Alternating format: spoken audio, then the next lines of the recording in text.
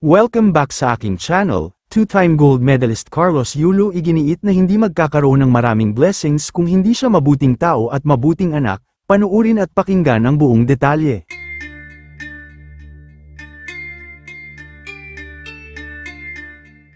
Hindi na nga napigilan ni two-time gold medalist Carlos Yulo na sagutin ang mga paratang sa kanya ng mga netizens tungkol sa kanyang pagiging isang anak, Halos bubugin na kasi si Carlos ng mga netizens dahil sa mga binibitawang salita laban kay Carlos dahil sa pagiging suwail at pagiging bastos na anak sa kanyang magulang.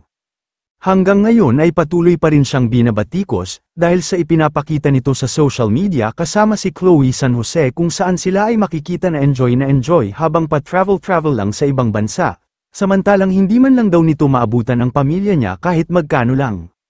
Paano rin daw kinakaya ni Carlos ang sitwasyon ng kanyang magulang, na habang nagkakanda-kuba-kuba sa trabaho para lang makaraos, samantalang siya ay nagpapakasarap lang kasama si Chloe at bilhan ng mga mamahaling gamit ang kanyang girlfriend.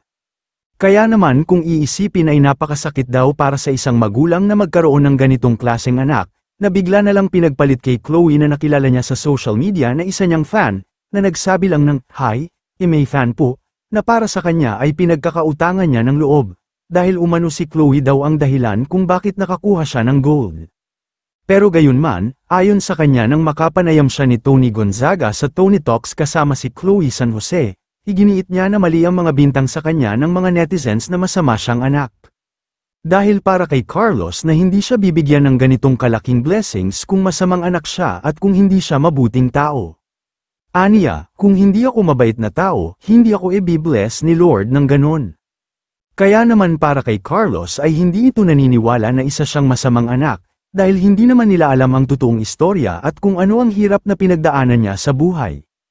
Pero maraming netizens ang nagsasabi na mas mahirap ang pinagdaanan ng magulang mo dahil naghirap silang palakihin kayo at alagaan ng ilang taon, hindi mo naiintindihan ang sakripisyo ng isang magulang lalong-lalo na ang isang ina. Ani pa ng komento ng ilang netizens, ang tunay na mabait na anak hindi niya magagawang saktan ng damdamin at ipahiya ang kanyang ina sa publiko at sa buong mundo at pagdadamutan ng pera at sasabihan siyang magnanakaw at pagpapalit sa babae ang buong pamilya niya. Aniya pa, binigyan ka ni Lord ng blessings, dahil ang alam niya yun ang daan para magpakumbaba ka sa magulang mo.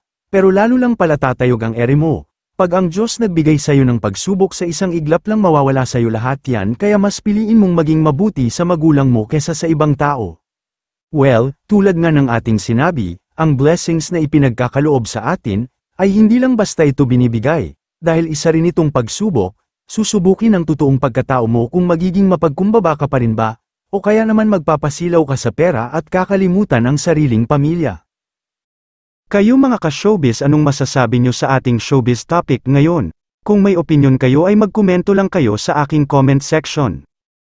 At syempre kung bago pa lang kayo sa aking channel ay mag-subscribe na kayo para lagi kayong updated sa mga showbiz trends na ina-upload ko. Maraming salamat po.